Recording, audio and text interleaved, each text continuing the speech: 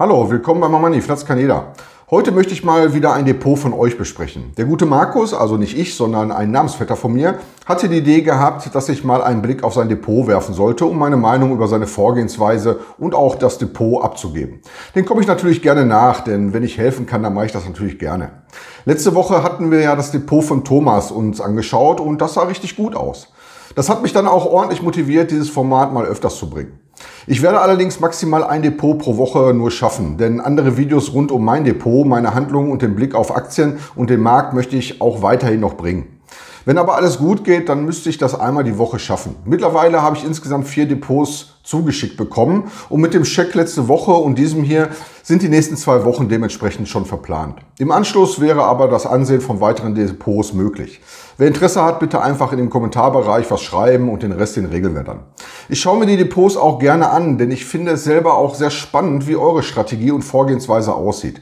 So bekomme ich, aber auch alle anderen Besucher dieses Kanals neue Aktien präsentiert, die für das eigene Depot durchaus interessant sein könnten. Natürlich muss man im Vorfeld eines ganz klar festhalten und klarstellen.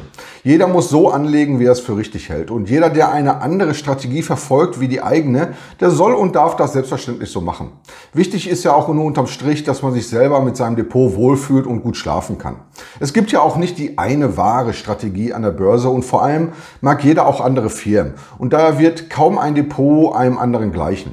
Ich werde mir in diesem Video dementsprechend die Depots von euch ansehen und sagen, was mir gefällt und wo ich eventuell Probleme sehe. Das sind dann auch keine besserwisserischen Meinungen von mir, sondern nur gut gemeinte Ratschläge, die man annehmen kann, aber natürlich nicht muss. Ich persönlich finde den offenen Umgang ja, mit seinem persönlichen Depot auch gut, denn man verlässt dadurch ein bisschen seinen persönlichen Tunnel und eventuell sehen andere Leute auch mal etwas, was man selber nicht erkennt. Es zeigt auch, dass man offen für Vorschläge und Ideen ist und in meinen Augen ist das eine gute Sache, denn man kann immer etwas dazulernen. Also, heute schicken wir mal schöne Grüße und einen dicken Dank an Markus für sein Depot und dann wollen wir mal sehen, wie er sein Geld an der Börse anlegt. Bevor wir mit dem Depot anfangen, will ich kurz berichten, wie Markus Strategie aussieht. Das ist wichtig bei der anschließenden Betrachtung des Depots, denn die persönlichen Vorgaben werden sich natürlich auch auf die Zusammenstellung auswirken. Und wenn man die Motivation kennt, versteht man auch selber, warum ein Depot so zusammengestellt wurde. Also, wie möchte Markus anlegen, beziehungsweise wie ist seine Strategie und warum hat er diese gewählt? Der gute Markus ist 34 Jahre alt und in einer Lebenssituation, die ihn dazu ermutigt, Geld für die Zukunft anzulegen. Sein Ziel ist es, ein Dividendendepot aufzubauen. Das ist schon einmal nicht schlecht. Er ist jetzt nicht so lange an der Börse dabei und hat auch schon den ein oder anderen Fehler in seinen Augen gemacht, der ihn natürlich auch vorsichtiger hat werden lassen. Außerdem hat er selber auch schon bei ja, einigen Fehlern eingesehen, ja, dass er hier Fehler gemacht hat und er hat dann auch konsequenterweise einen Schlussstrich gezogen, was auch keine Selbstverständlichkeit ist, wenn man noch nicht lange dabei ist. Sein Anlagehorizont ist mindestens 20 Jahre. Das ist natürlich perfekt, wenn man jetzt schon von so einem Anlagehorizont ausgehen kann. Er möchte dann die Dividenden sammeln und bei guten Gelegenheiten reinvestieren. Das finde ich ja ebenfalls ganz gut dass man nicht einfach alles zu jeder Zeit investiert, sondern durchaus die Zyklen des Marktes ein bisschen ausnutzt, um bessere Einstiege zu bekommen. In guten Zeiten verfolge ich ja auch eine ähnliche Vorgehensweise oder Strategie oder Taktik. Neben den Dividenden hat er eine feste Anlagesumme, die er jeden Monat auf das Depotkonto überweist. Ja, das ist natürlich auch sehr gut, denn das regelmäßige Sparen ist auch ein wichtiger Baustein über Jahre ja, für den Vermögensaufbau. Er ist auch relativ am Anfang seiner Börsenkarriere und daher sind seine Pläne und seine momentane Vorgehensweise schon einmal sehr gut durchdacht. Ne? Und daneben verfolgt er auch noch die Strategie des Buy and Hold. Seine Strategie setzt auf eine Mischung aus Dividendengrowth und normalen Dividendenaktien, die sehr lange gehalten werden sollen, um auch vom Dividendenwachstum zu profitieren. Zum größten Teil ist er in US-Firmen investiert. Er besitzt nur vier Aktien außerhalb der USA. In seinem Portfolio befinden sich nur zwei Aktien, die keine Dividenden ausschütten. Aktuell ist er noch etwas in Cash für Nachkäufe und Neuinvestitionen. Also etwas Handlungsfähigkeit ist noch vorhanden. und das ist natürlich auch sehr gut, dass er nicht bis zur Handlungsunfähigkeit immer alles investiert, sondern auch etwas Geld in der Hinterhand behält, um Chancen auszunutzen. Sein Depot möchte er später breit gestreut haben, so bei 50 bis 100 Positionen. Ach ja, eine Einschränkung hat er. Markus investiert nicht in Emerging Markets Werten, da ihm die politischen Unsicherheiten zu groß sind. Tja, und betrachtet man aktuell China, ja, dann kann man das durchaus nachvollziehen. Also, Markus hat eine klare Strategie, will breit streuen und hat einen langen Anlagehorizont. Alles Sachen, die ich schon mal gut finde. Dann blende ich mal das Depot von Markus ein. So, wir haben jetzt hier die Auflistung von seinem Depot. Ne, hier sind die Namen, hier sind die WKN-Nummern und hier ist im Endeffekt die Aufteilung vom Depot selber. Ich gehe mal einmal kurz die Liste durch und äh, nenne mal ein paar Firmen, ja, in welchen Branchen sie zugeordnet werden kann. Bei manche Firmen wird man eventuell nicht kennen. Ich meine, so eine Berkshire Hathaway, die ist natürlich bekannt, Air Products and Chemicals auch.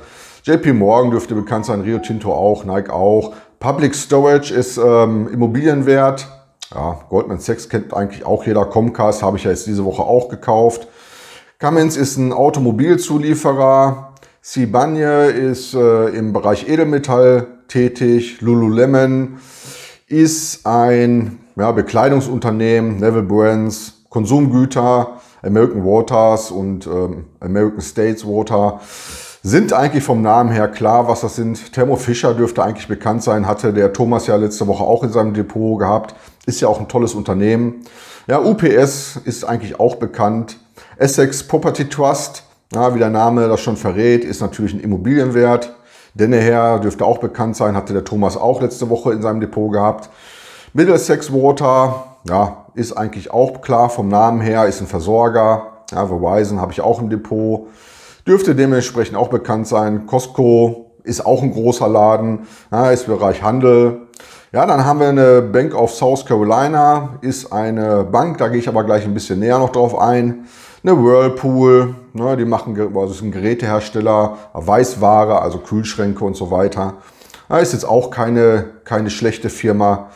Ja, Striker ist sehr gut, Emgen, Münchner Rück, ja, eine Store Capital ist auch im Bereich Immobilienbereich tätig. Eine Xylem ist äh, im Bereich Maschinenbau aktiv. Dann haben wir noch die Federal, die ist im Bereich Finanzen zugange. VF Corporation ist im Bereich ja, Bekleidung zu Hause. Sequoia ist äh, ja, Kaufhauskette. Ja, Medical Property Trust hatte ich ja auch schon in Analyse gehabt. Caterpillar sollte auch bekannt sein, auch ein großer US-Wert im Bereich Maschinenbau. Allianz, BASF habe ich auch selber im Depot. WD40 ist ein Chemieunternehmen. Ja, dann haben wir noch eine Cisco, auch ein sehr bekanntes Unternehmen. Bank of New York Mellon ist auch sehr bekannt eigentlich. Und Bank of America sowieso habe ich ja auch bei mir im Depot. Eine WePy Carry ist ein Immobilienwert. Ähm, ja, und Deere ist im Bereich Maschinenbau tätig. Messius äh, war eine interessante Firma gewesen.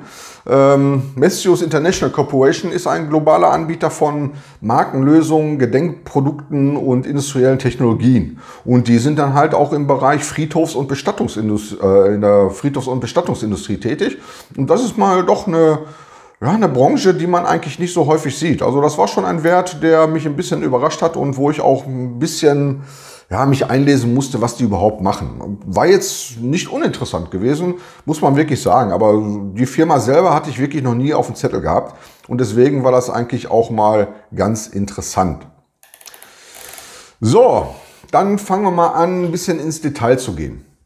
Das erste, was bei seinem Depot natürlich auffällt, ist die allererste Position. Ja, das ist der Fidelity US Qualitative ne, Quality Income ETF. Ja, auch ein sehr bekannter ETF eigentlich. Das ist mit 26,09% natürlich ein extrem großer ja, Einzelbereich oder eine sehr große Einzelposition.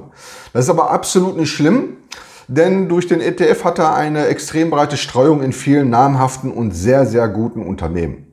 Man kann durchaus einen sehr großen Schwerpunkt im Depot mit einem guten ETF auch abdecken. Und wenn man nicht viel Arbeit mit seinem Depot haben möchte, ja, dann kann man auch durchaus auch nur auf ETF setzen.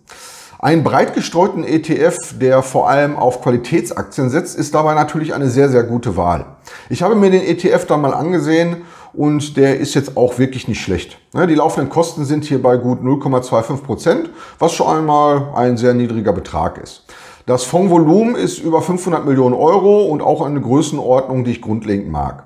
Ja, und der ETF ist dann auch noch ausschüttend. Also er passt gut zu Markus seiner Dividendenstrategie, ne, wodurch er jedes Jahr für Neuinvestitionen dann halt auch die dementsprechenden Dividenden erhält und dann auch einsetzen kann.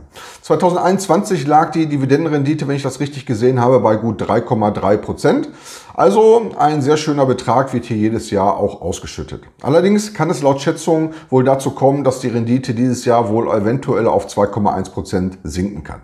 Gut, das muss man natürlich mal abwarten sind ja auch nur Schätzungen und man weiß eigentlich erst, ja, wie hoch Dividenden bei Einzelunternehmen ausfallen, wenn diese auch wirklich vermeldet werden. Wäre aber auch, selbst wenn es runtergehen würde, immer noch eine sehr, sehr schöne Dividendenrendite. Der ETF schüttet auch vierteljährlich aus und dadurch erhält man auch öfters einen netten Betrag im Jahr aufs Konto gebucht. Der ETF läuft auch in den letzten zwölf Monaten durchaus besser als der S&P 500 und daher schon einmal eine sehr gute Wahl für so einen großgewichteten Anteil im Depot. Gerade weil der ETF so groß gewichtet ist, muss man natürlich auch auf die Zusammenstellung ein bisschen schauen.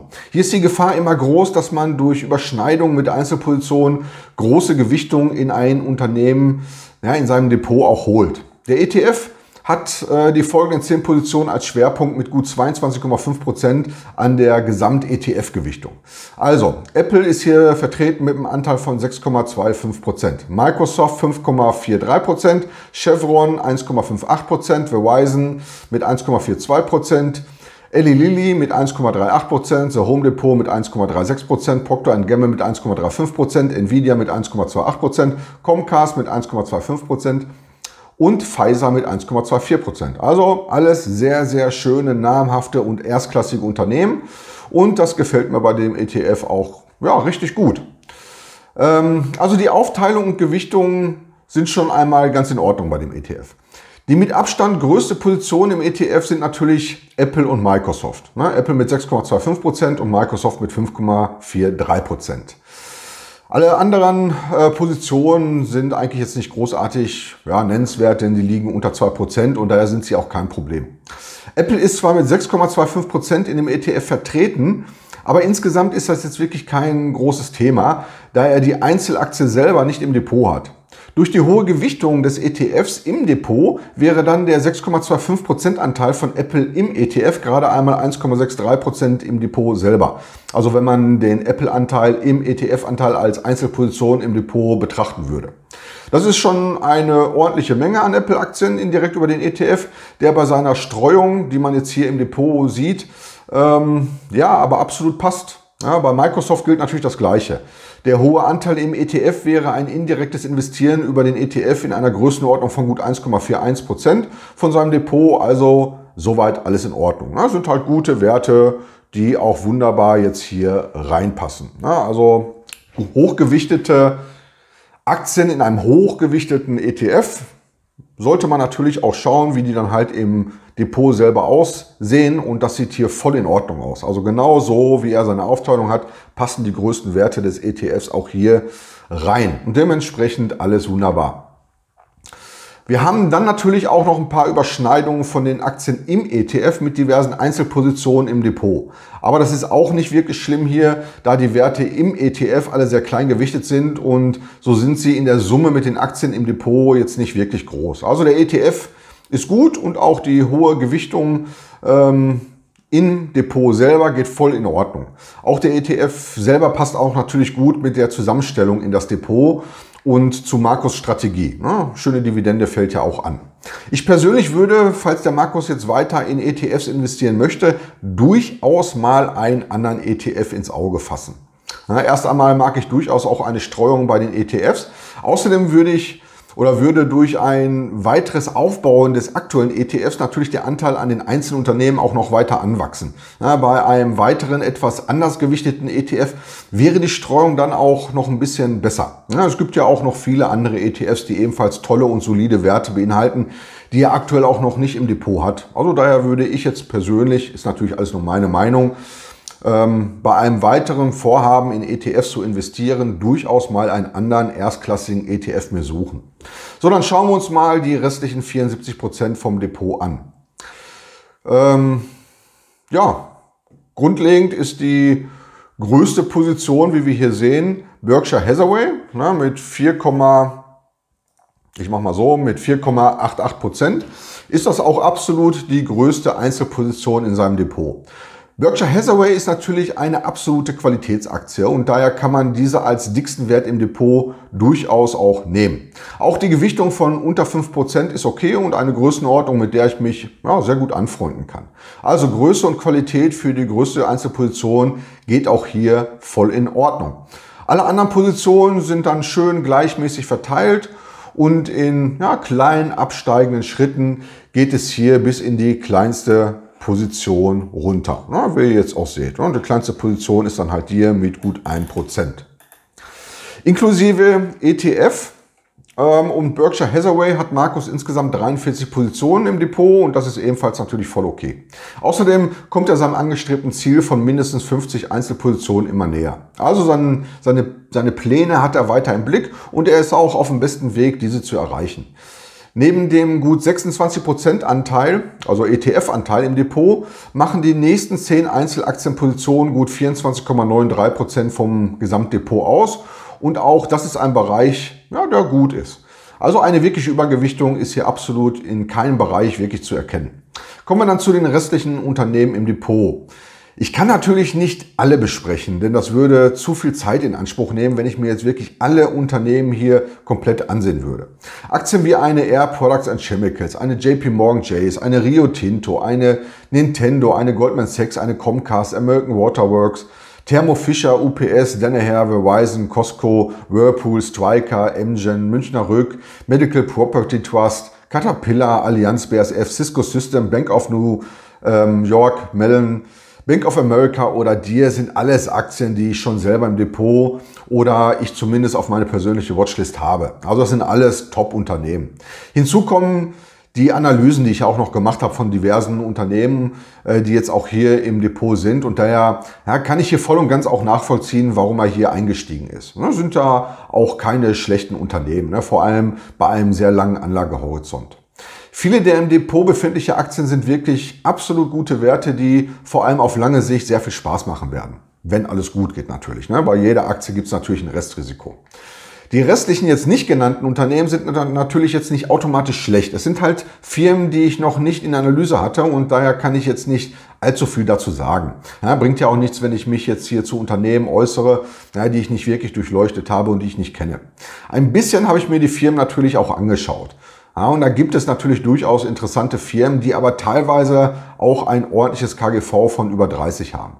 Ja, das ist natürlich jetzt nicht wirklich was grundlegend Schlimmes, aber das sind natürlich Bewertungsniveaus, die Probleme in einem Bärenmarkt bereiten könnten. KGVs in der Höhe sind eigentlich nur gerechtfertigt, wenn ein konstantes Wachstum auch in Krisenzeiten aufrechterhalten werden kann. In einem Bullenmarkt mit gut laufenden Geschäften die ein Wachstum lange ermöglichen, sind das Werte, die oftmals keine Probleme haben. Sie wachsen stetig und laufen, wenn alles gut geht, in die hohe Bewertung dann irgendwann rein. Ja, sollte aber die Wirtschaft mal ins Stocken kommen und die Unternehmen in Schwierigkeiten geraten, beziehungsweise ihre angestrebten Ziele nicht mehr erreichen, werden Aktien mit sehr hohen KGVs allerdings oftmals ja, auch härter abgestraft, da sie plötzlich nicht mehr das erwartete Wachstum aufweisen. Ne? Dementsprechend werden die KGVs dann runtergenommen und dann ja, kommt bei einem rückläufigen Gewinn schnell mal ein Abschlag von 20, 30 oder 40 Prozent zustande.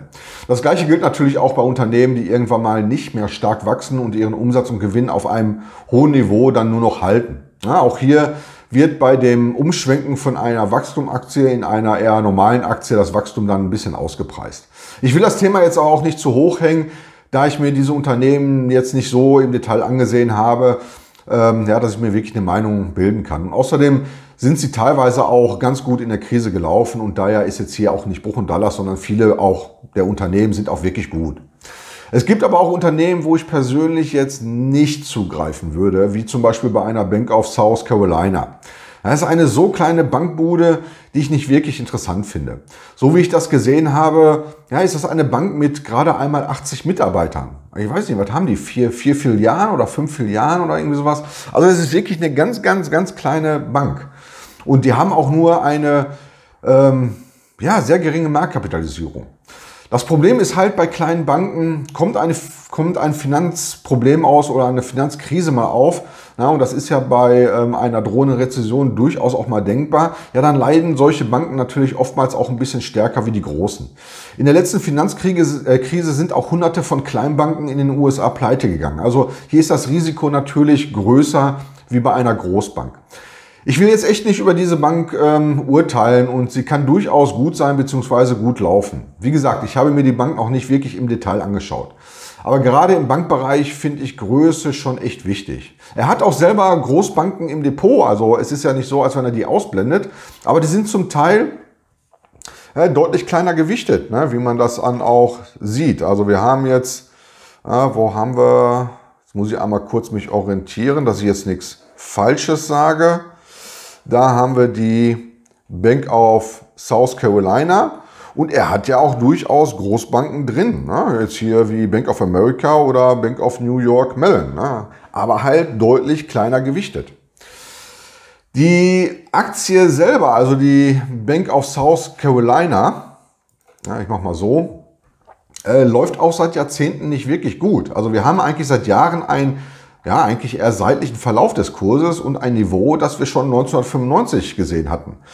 Na gut, sind jetzt äh, ja auch nur 1,75 Prozent von seinem Depot und das eingesetzte Geld ist jetzt auch nicht eine große Summe, aber dennoch ist das eine Position, ja, die ich jetzt so eigentlich persönlich nicht mag und auch nicht äh, haben möchte.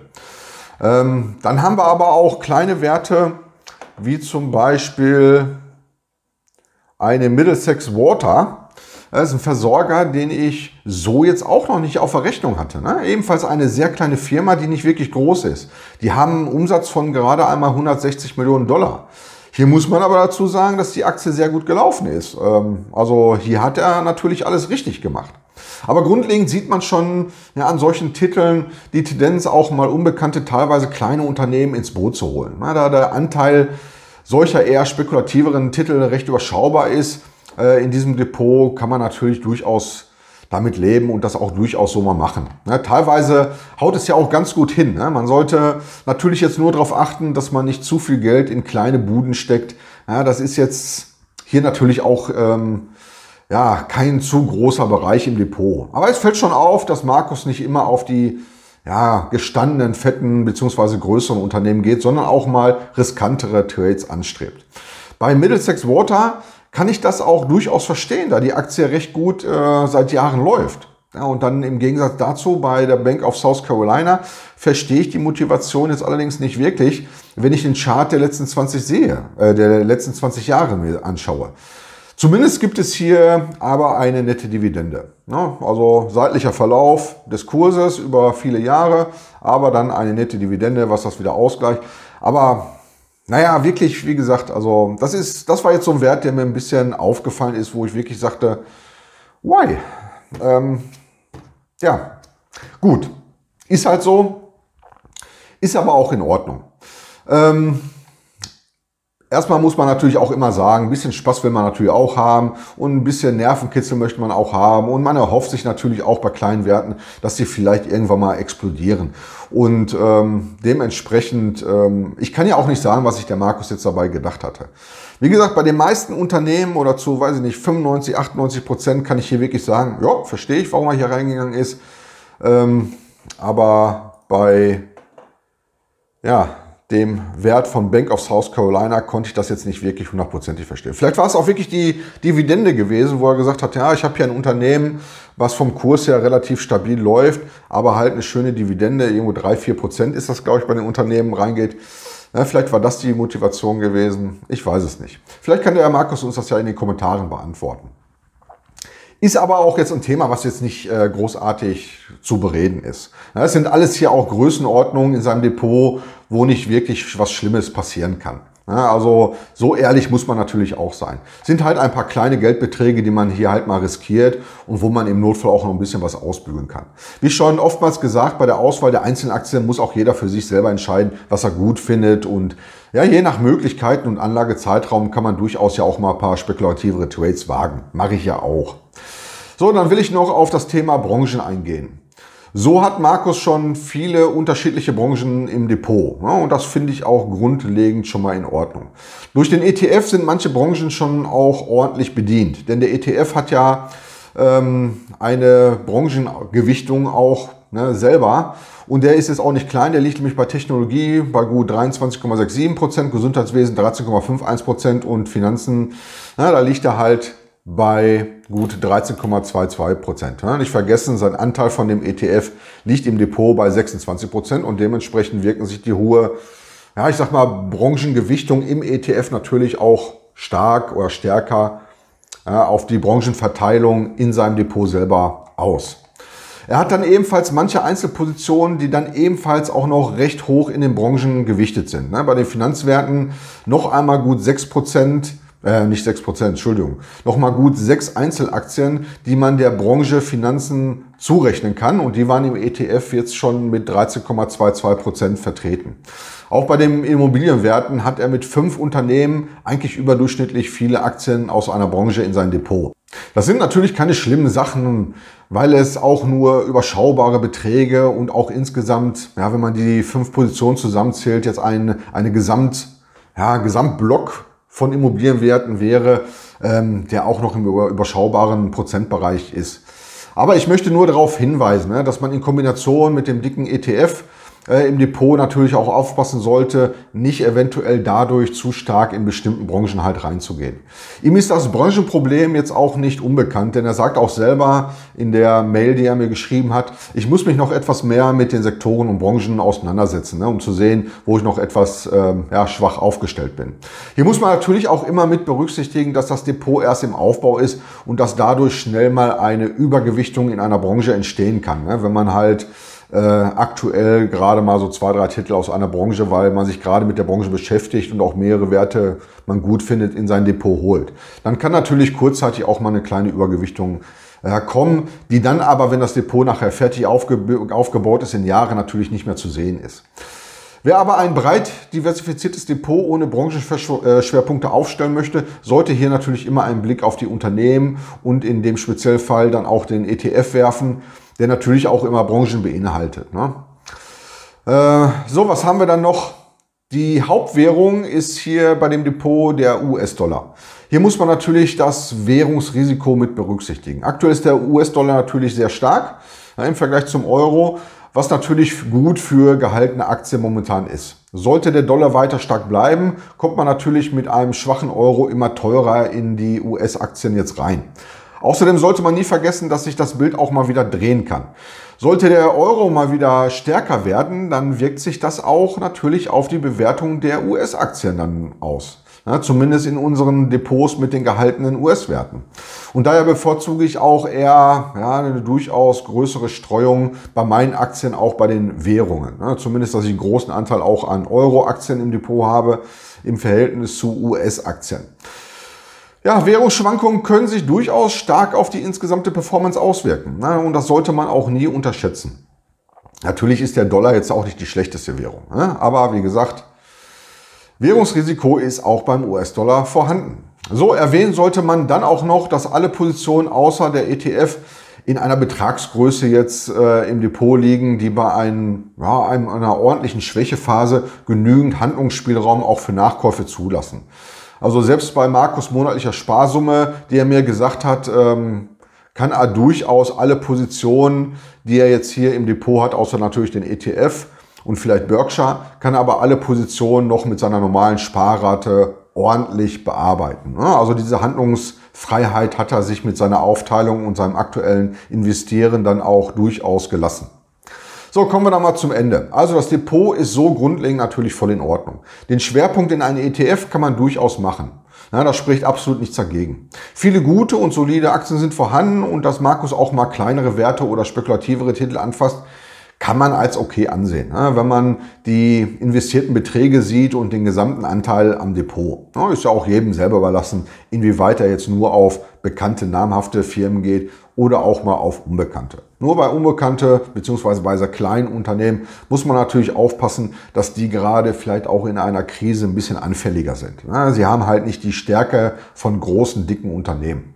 Bei den Branchen ähm, ja, würde ich sagen, muss er natürlich jetzt zum aktuellen Zeitpunkt ein bisschen aufpassen, dass er mit der Kombination des ETF jetzt nicht zu stark in bestimmte Branchen reingeht. Zumindest wenn er ein ausgeglichenes Depot haben möchte. Ne? Will man gewollt Schwerpunkte natürlich setzen in bestimmte Branchen, dann ist das natürlich was komplett anderes. Also das Depot ist insgesamt ja, ordentlich. Ne? Ich finde das gut.